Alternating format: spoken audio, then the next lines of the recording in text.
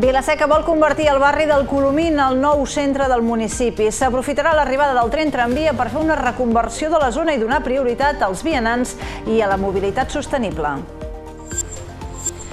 Josep Andreu escull com a número 2 de la seva candidatura l'actual secretari de l'Ajuntament, Marià Gomis, fill de l'exalcalde Josep Gomis. Esquerra Republicana ja ha demanat al secretari que dimiteixi del seu càrrec perquè considera que la seva feina no és compatible amb anar unes llistes per a les municipals. El Consell Comarcal de la Conca de Barberà instal·la càmeres de vigilància perquè no es llenci la brossa allí on no s'ha de fer. Es busca evitar que es faci un mal ús dels contenidors d'emergència en les poblacions on existeix el sistema de recollida de residus porta a porta. Entrarem a la llar municipal de Sant Salvador a Tarragona on cada dia una trentena de persones grans dinen acompanyades. Ho fan a través d'un programa que busca evitar que dinin soles. Només l'any passat van repartir 1.600 àpats. I en esports, Àlex Dotxe es perdrà probablement el que queda de temporada. El CBT suma una altra baixa de llarga durada a una infermeria que no para de rebre jugadors. Dotxe pateix una ruptura fibrilar al bessó de la cama esquerra i és molt improbable que reaparegui abans d'acabar el curs. Són els titulars d'aquest dijous. Benvinguts, benvingudes al Notícies 12. Comencem.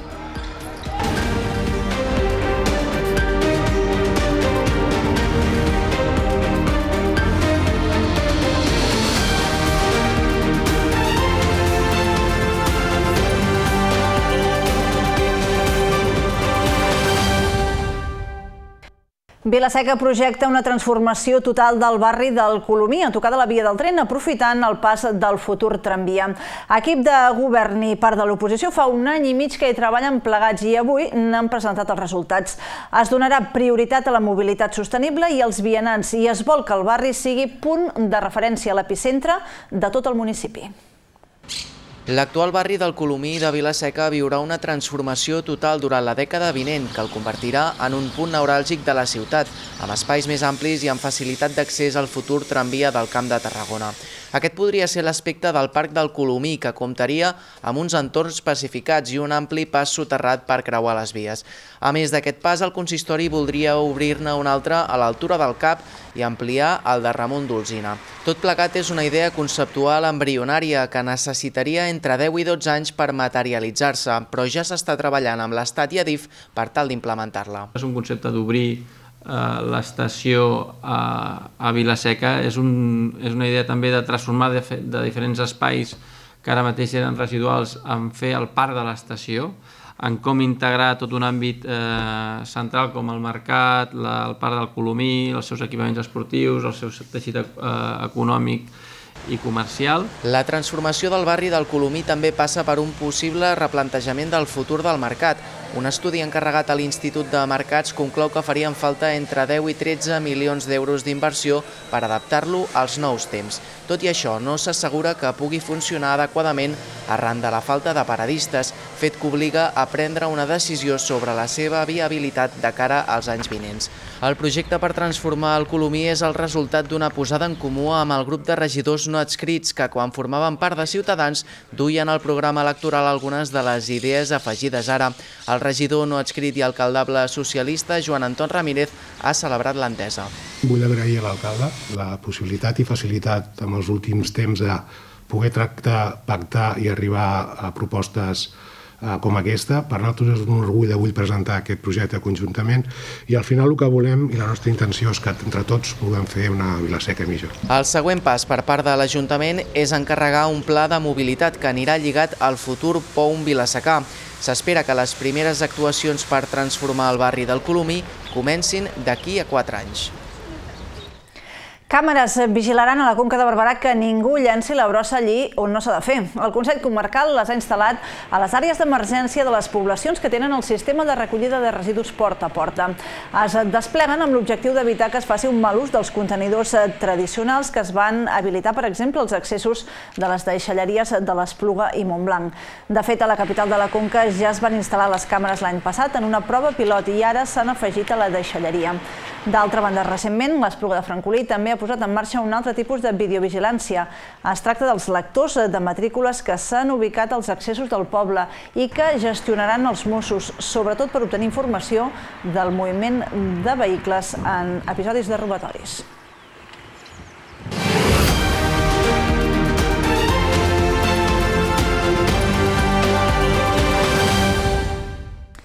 Obrim crònica política. L'actual alcalde de Montblanc i alcaldable de Montblanc Progressa ha fitxat el secretari de l'Ajuntament com a número 2 de la llista, Maria Gomis, fill de l'exalcalde Josep Gomis.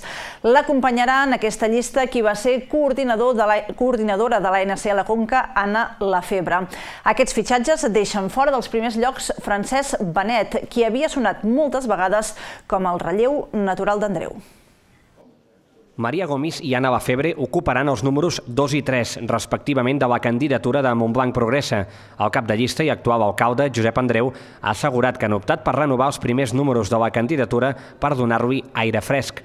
Gomis, fill de l'exalcalde de Montblanc, Josep Gomis, és actualment el secretari de l'Ajuntament de Montblanc, un càrrec que deixarà si acaba sent escollit regidor. Assegura que durant la campanya s'agafarà dies de vacances per no interferir amb la seva feina. La meva, la meva funció de secretaria seria incompatible amb la presa de possessió del càrrec de regidor, si és el cas. Espero que sí, evidentment. En aquell moment he de, he de renunciar a la secretaria, serà en aquest moment que hauré d'optar per una cosa o una altra. Evidentment, tinc un compromís ferm d'estar com a regidor de l'Ajuntament de Montblanc. No obstant, ja he decidit que durant la campanya electoral, per no interferir la meva feina a l'Ajuntament i, per tant, les tasques de secretaria, m'agafaré dies de vacances, m'agafaré dies lliures, el que sigui. Andreu ha volgut agrair el pas endavant de Gomis. Assegura que la seva il·lusió, més que ser secretari de l'Ajuntament, és acabar sent alcalde de Montblanc. Em va dir, diu, Pep, diu, és que la meva il·lusió no és ser secretari de l'Ajuntament de Montblanc. Jo algun dia vull ser alcalde de Montblanc. I això aquí és una qüestió que te sobte en els moments que estem. Anna Lafebre, que ocuparà el número 3, va estar molt de temps implicada en el procés independentista. Va ser coordinadora de l'ANC a la Conca de Barberà i membre del Secretariat Nacional de l'Assemblea i per primera vegada ocupa un lloc a una llista electoral. Això deixa fora dels primers números de la llista Francesc Benet, l'actual primer tinent d'alcalde i durant molts anys número 2 d'Andreu. L'alcalde assegura que els compromisos professionals han sigut incompatibles amb la dedicació política. Va dir doncs, que les circumstàncies de, de la vida doncs, l'han portat a que doncs, dintre del seu marc laboral, de la feina a la seva empresa, que ja ho sabeu que també ha tingut canvis de titularitat, doncs que cada cop més, i, i ara aquests últims dies també li han donat noves funcions i nous càrrecs, doncs que era impossible ell de seguir, de poder complir amb les tasques de ser el número 2 de l'Ajuntament de Montblanc. Pel que fa a la resta de regidors que actualment formen part del govern, Andreu ha assegurat que més endavant es coneixerà quina posició ocuparan. Doncs Esquerra Republicana ja ha reaccionat a través d'un comunicat a les xarxes socials on demana la dimissió del secretari de l'Ajuntament de Montblanc. Asseguren que és el màxim garant jurídic de l'acció d'un ajuntament i també de la imparcialitat del procés electoral. Consideren que no és ètic ni transparent que el secretari continuï exercint el càrrec després d'haver-se fet públic que es presentarà a les eleccions municipals. Demanen que dimiteixi de forma immediata. Un altre nom propi, Marc Montagut, ha presentat aquest matí la seva candidatura a l'alcaldia de Salou. Adoptarà la fórmula d'ara pacte local i amb la marca de sempre Salou. L'actual regidor de govern aposta per incentivar l'activitat econòmica, la cultura i l'esport, però encara no avança cap nom de la llista. Jugant amb la simbologia de les marques de cerveses i des d'un bar, Marc Montagut ha avançat els pilars ideològics de la seva candidatura per arribar a l'alcaldia de Salou. És que ens proposem tenir definitivament una ciutat de cinc estrelles. Volem tenir una ciutat amb infraestructures, serveis i qualitat de vida de primer nivell per als nostres convilatants. I a més a més volem les 5 estrelles els 365 dies de l'any. En aquest sentit, Montagut ha posat l'accent en la necessitat d'acompanyar i potenciar la iniciativa privada. Assegura per un costat que cal una aposta per la reactivació del comerç local i posa d'exemple l'impuls a l'hostaleria que diu ha donat el govern municipal als darrers anys, mentre n'ha format part. De fet, en la presentació d'aquest dijous s'hi han deixat veure alguns representants del sector privat de Salou. Més enllà d'això, Montagut assenyala que s'ha de potenciar la cultura i l'esport i millorar el manteniment de la ciutat. De fet, l'actual regidor d'Urbanisme recorda que Salou ha progressat els darrers anys, però hi veu marge de millora. Valore positivament l'etapa de 14 anys compartint govern amb l'alcalde Pere Granados, si bé reconeix que el seu apropament al PSC l'ha allunyat ideològicament. I em va deixar fins i tot sobtat i descol·locat la seva decisió de presentar-se amb el Partit Socialista. Vaig tenir clar que jo aquest camí no ho podia seguir, la candidatura de Marc Montagut del PDeCAT agafarà de paraigua la coalició d'Ara Pacte Local i portarà per nom Sempre Salou. De moment no ha donat a conèixer els membres de l'equip. Sobre possibles pactes de govern, les úniques línies vermelles que ha posat són en els partits extremistes. Qui finalment no serà present a les eleccions municipals serà l'actual portaveu de Junts per Tarragona, Didac Nadal. Després de setmanes d'incògnites i rumors, l'alcaldable de la formació ara fa 4 anys ho ha anunciat aquest dijous, descartant d'aquesta manera crear una candidatura municipalista, possibilitat que el mateix Nadal havia apuntat després de descartar encapçalar una llista de partit. En la compareixença en la que ha anunciat la seva retirada, Nadal ha fet balanç de la tasca feta al capdavant de l'empresa de mercats en els darrers 4 anys, que ha qualificat de molt positiva. No tant la valoració com a responsable de la regidoria de comerç els darrers dos anys, ja que diu han mancat recursos per dur a terme més iniciatives. També ha volgut reformar el discurs que ha dut a terme els darrers anys respecte a les seves intencions a la política municipal. La vida em dona una finestra, una possibilitat, jo podria perpetuar-me en política i tenir un salari públic i continuar tirant perquè aquí dies passa anys empeny, però és que no és la meva forma de ser, de veritat.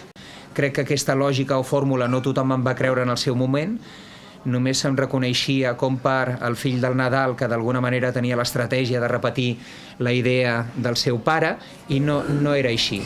Nadal va entrar com a regidor al plenari tarragoní l'any 2018 després de la mort del fins llavors portaveu de Convergència i Unió, Albert Avalló. Ara fa quatre anys va encapçalar la candidatura de Junts per Tarragona com a militant del PDeCAT, del que es va donar de baixa l'any 2020.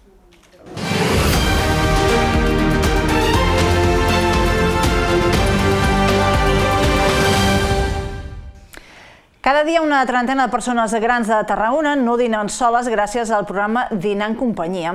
L'impulsa l'Ajuntament amb la col·laboració de la Fundació Joventut i Vida. Van servir durant l'any passat 1.600 àpats dins d'una prova pilot. Dinen acompanyats de voluntaris a la llar municipal de Sant Salvador gràcies a aquesta iniciativa que la pandèmia ha fet més necessària que mai. Taules parades ja al menjador de la llar municipal de gent gran de Sant Salvador, esperant a la trentena de persones que ja aniran aquest dijous a dinar dins del programa Dinars en Companyia. Una iniciativa que ja està totalment consolidada després de la prova pilot que durant el segon semestre del 2022 va oferir més de 1.600 àpats. Una xifra que aquest 2023, amb el projecte ja operatiu al 100%, gràcies al conveni del consistori, amb la Fundació Joventut i Vida, ja ha arribat a més de 700 àpats en només dos mesos.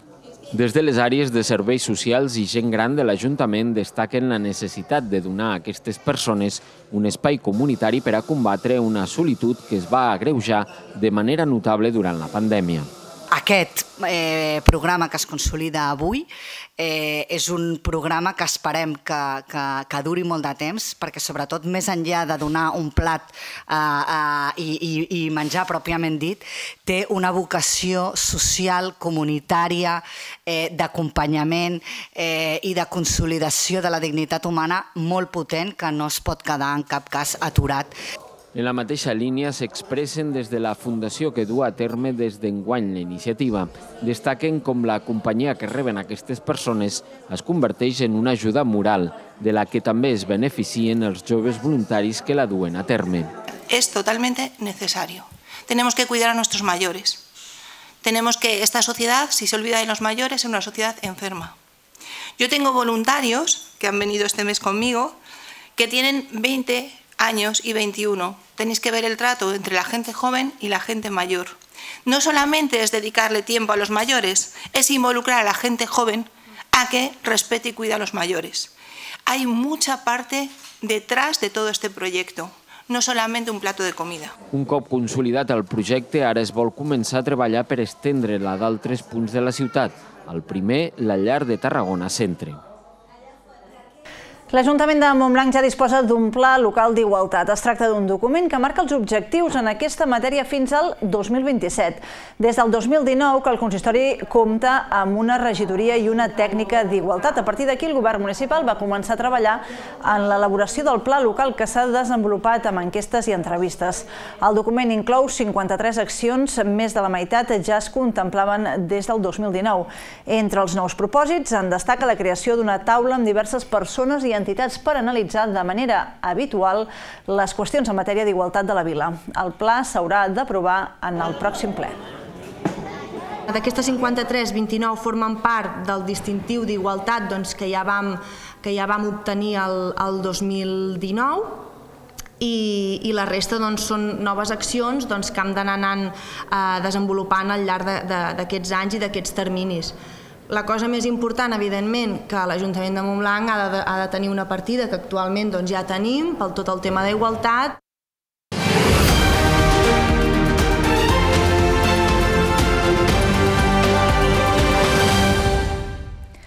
La 23a edició de l'Espai de l'Estudiant de Vall serà una de les més multitudinàries.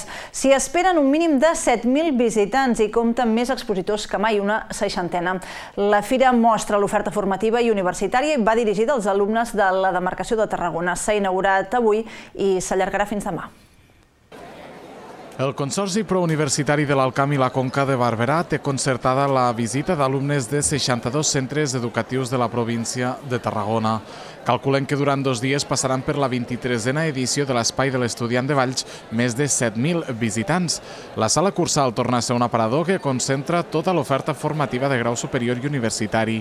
De fet, enguany hi ha més estants que mai, un 20% més que l'any passat. Una edició que hem tingut rècord d'expositors, eh, ens pensàvem tornar més o menys al que teníem abans de la pandèmia, però la veritat és que ens ha superat una miqueta. Tenim 61 expositors que venen de, de tot Catalunya, des d'universitats fins a centres de secundària i centres d'estudis superiors i molts estants institucionals. I de visitants també estem per damunt del que estàvem abans de la pandèmia, després de dues edicions que han sigut una miqueta diferents, una virtual i l'altra que la van fer una miqueta restringida en cap a la pandèmia. Els visitants hi poden trobar informació formativa de totes les universitats catalanes, dels principals centres de secundària de la demarcació i d'estudis superiors d'idiomes, disseny, economia o artístics, entre altres. Entre l'oferta formativa que s'hi pot trobar també hi figura el Centre Formatiu de l'Exèrcit, tot i que durant els últims anys la idoneïtat de la seva presència l'han qüestionat diverses formacions polítiques. Hi torna a haver l'estat de, de l'Exèrcit, però mentre no se'ns canvi la normativa i no hi hagi alguna legislació que ens faci actuar diferent, nosaltres continuem com cada any. L'Espai de l'Estudiant és una fira que va néixer l'any 2001 amb la voluntat de promoure l'oferta formativa universitària fora dels grans pols urbans de la demarcació. Compta amb la complicitat de l'Ajuntament de Valls, la Diputació de Tarragona i la Direcció General de Joventut, entre altres administracions. I un centenar d'alumnes i mestres de 13 centres educatius del Tarragonès i el Baix Camp s'han trobat avui al Teatre Auditori de Salou. El motiu era una de les trobades dels fòrums del programa Escoles Verdes, una iniciativa que sorgeix com un compromís per donar suport a tots els centres educatius de Catalunya que volen innovar, incloure, avançar, sistematitzar i organitzar accions educatives. Tot plegat amb la finalitat d'educar en relació als nous reptes i la sostenibilitat. A Salou els infants han posat en comú les accions dutes a terme a cada centre. Aquesta xarxa d'escoles compta actualment amb gairebé 760 centres educatius, dels quals 165 són de la demarcació de Tarragona i felicitar a tots els centres que formeu part d'aquest programa i també encoratjo a la resta de centres a que formin part. Cuidar el nostre entorn és de les coses més boniques i importants que podem fer envers el nostre municipi, el nostre planeta i envers la nostra societat. Més qüestions. Catalònia Sacra, el Festival Itinerant de Patrimoni Cultural Eclesiàstic, ha presentat avui el programa d'aquest 2023. Ho ha fet a Tarragona, on els assistents a la presentació han pogut gaudir d'una visita guiada a la recentment reoberta capella de Santa Tecla la Vella dins del recinte de la catedral. Posteriorment, el seminari s'ha donat a conèixer la quarantena d'activitats d'enguany. A casa nostra, Catalònia Sacra oferirà l'experiència de viure de primera mà el toc de campanes manual a Tarragona, Montblanc o Valls, que l'any passat va ser declarat Patrimoni Immaterial de la Humanitat per part de la UNESCO. A part d'activitats concretes d'un dia concret per conèixer un patrimoni, eh, intentem eh, posar-hi també el que és el patrimoni immaterial. És dir, patrimoni de l'Església està format de pedres i pintures, però també de tradicions, d'activitats litúrgiques, de festes populars, i la manera que tenim d'incorporar tot aquest patrimoni a l'agenda és convidant senzillament a la gent a anar-hi. Començar per fer una breu pausa, tornant temps per als esports en una temporada per oblidar per al CBT, almenys pel que fa a la infermeria. Àlex Dotxes perdrà probablement el que queda de temporada i el CBT suma una altra baixa de llarga durada. Pateix una ruptura fibrilar al bessó de la cama esquerra i és improbable que reaparegui abans d'acabar aquest curs. També els explicarem que la colla gegantera La Passigolla recuperarà una de les colles sardanistes que havia gestionat als anys 70 la coral Aroma Vallenca. És la colla infantil que des d'ara comptarà amb els balladors del Basilisc. Ho expliquem també a la segona part del Notícies 12. Fins ara.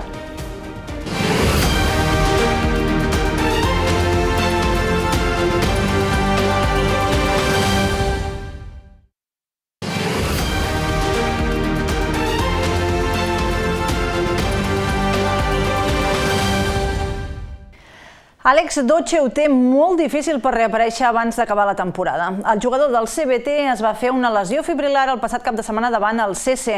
La baixa es podria allargar suficientment com per no poder acabar aquest curs sobre el parquet. Semblava que el Club Bàsquet Tarragona havia espantat per fi el fantasma de les lesions. Res més lluny de la realitat, ja que Àlex Dotxe no va poder acabar el partit del passat cap de setmana en la victòria davant el CC.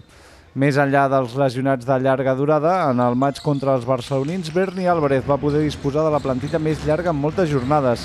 Ara, però, cal sumar el nom d'Àlex Dodge als de Larry Ebulo, Víctor Vinós i Dani Tugores. El dorsal 22 dels blaus pateix una ruptura fibrilar al bessó de la cama esquerra. A falta de les darreres proves mèdiques, Dotches perdria 4 o 5 partits. Aquesta circumstància faria que, presumiblement, arribi pels pèls als darrers partits de la temporada o fins i tot que ja no torni a jugar aquest curs.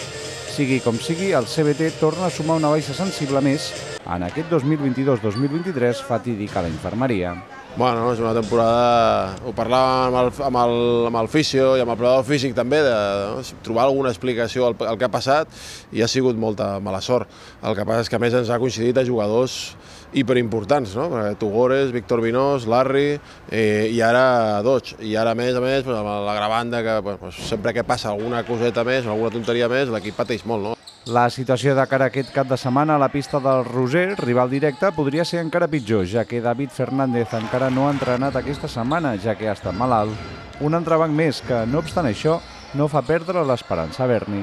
Però a vegades no, no pots lluitar contra segons quines coses i, i realment és una llàstima perquè, perquè crec que amb l'equip al complert encara estaríem millor i, i tot i així estem animats de, de fer un bon final de temporada. Com a mínim, els de Blau tenen alguna bona notícia. Usman, Duc i Estebanell, que han anat arrossegant molèsties darrerament, no han recaigut de les seves lesions. Jugar bé és l'objectiu pel tram final de la temporada del futbol sala Salou. Els de Manel Hidalgo van segons i l'ascens, que seria ara per les Corts, és cada cop més complicat. Els salouencs saben, però, que fent bé les coses encara els queda alguna opció de pujar a segona divisió B. Encara queda molta competició per davant, però el Salou Futbol Sala té molt difícil l'ascens de tercera a segona B. Són 11 jornades, les que encara queden per disputar, però atrapar les Corts sembla improbable ara per ara, i és que els barcelonins estan intractables aquest curs. El Salou es troba a només 7 punts del líder, però és que el primer classificat només ha perdut dos partits en guany, un a principis de novembre i l'altre fa un mes i mig. Precisament aquesta llunyana derrota de les Corts a la jornada 6 va ser contra un Salou que, malauradament, no ha estat capaç de seguir el ritme del líder. Amb dos equips s'enfrontaran d'aquí a dues jornades, una oportunitat perfecta pels de la Costa Daurada per retallar distàncies. Serà llavors quan es definirà si les opcions d'ascens reviuen o s'enterren del tot. Però més enllà de la voluntat d'atrapar el líder, els salouencs es centraran primer a jugar bé. Tampoc pensem en, en ratxes llargues ni pensem molt en el campionat perquè està molt complicat, sinó que volem anar partit a partit, que sempre ens sentim més còmodes i se'ns dona millor. I, home, tots els partits són importants de, de guanyar, però bueno, a vegades eh, val més centrar-se com a objectiu el jugar bé i els resultats arriben si, si han d'arribar. Tot el que arribi després serà conseqüència del bon joc dels de Manel Hidalgo. Una bona imatge no garanteix punts, però els salauencs saben que si juguen bé no descartaran abans d'hora les opcions d'ascens.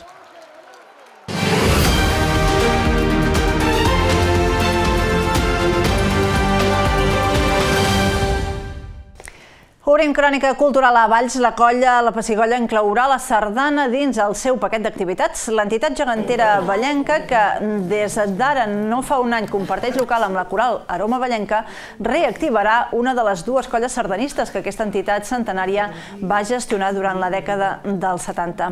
S'enforteixen així els vincles entre la coral i la colla gegantera. De moment es reactivarà la colla infantil amb l'aportació dels balladors del Basilisc Petit. I nosaltres actualment tenim uns, 40, uns 35-40 nens, eh, no tots tenen les mateixes edats, tenim diverses edats, edats com que encara no arriben no, a, a poder portar el basilis petit, com edats que ja porten, per exemple, el gegantó petit i els hi falta poc per tirar-ho endavant per anar cap al grup gran. I per això pues, que de moment recuperarem ocells del bosc, però en un futur donem l'opció i l'oportunitat de poder també recuperar pues, l'esclat. I arriba el moment ara, com cada dijous, per conèixer l'agenda cultural del cap de setmana que encetem amb ritmes flamencs. Comencem el repàs a l'agenda cultural del cap de setmana amb dues propostes incloses dins el Festival Tarragona Sona Flamenc. Joel Ferrer Vargas és un brillant ballarí i coreògraf tarragoní que es va graduar a l'Institut del Teatre. El curs passat va obtenir el Premi Extraordinari dels Ensenyaments Artístics Professionals en l'àmbit de dansa atorgat per la Generalitat de Catalunya. Tot i la seva joventut ja compta amb una gran experiència i diversos premis. L'espectacle que ens presentarà a Tarragona, amb el tablau com a element del folklore tradicional, convida a viure una experiència única i irrepetible, on el duende apareix en cada faceta del diàleg entre el cante i el ball. També programat en el marc del Sona Flamenc ens arriba una proposta de la companyia barcelonina Entrance. Tot parteix d'una pregunta. És possible explicar la història de l'orca que tant ens segueix fascinant des d'un altre lloc, d'una manera que no sigui vinculada a l'Espanya més fosca? La resposta la trobem en elles, la germana Salva, que són les úniques protagonistes d'aquesta història.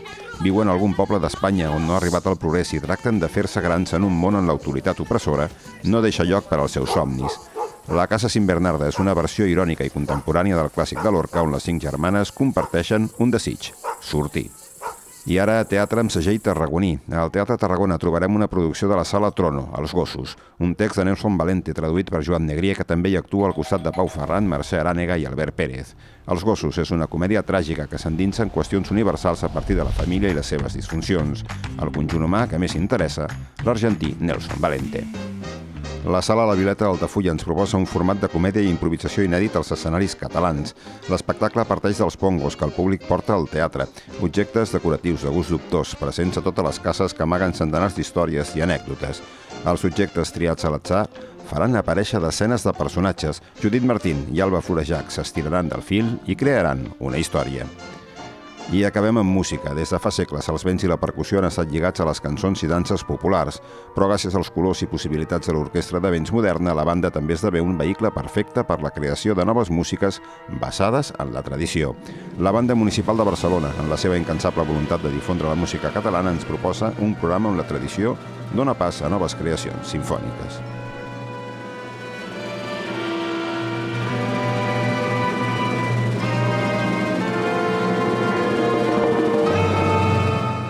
Doncs amb música i totes aquestes eh, propostes, avui ens acomiadem. Gràcies un dia més per la seva atenció i la seva confiança. Ens retrobem demà. Que vagi molt i molt bé. Adéu.